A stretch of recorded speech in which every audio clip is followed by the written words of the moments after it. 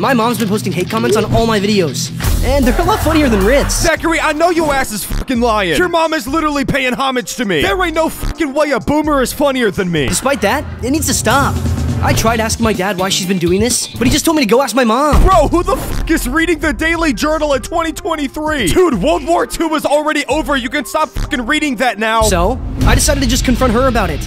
And she explains she thinks my videos are just straight trash. yeah, they're pretty fucking stupid. And the only way she'd stop hating is if I read every single hate comment on my channel. Bullshit, Zachary. The whole video could literally be my hate comments.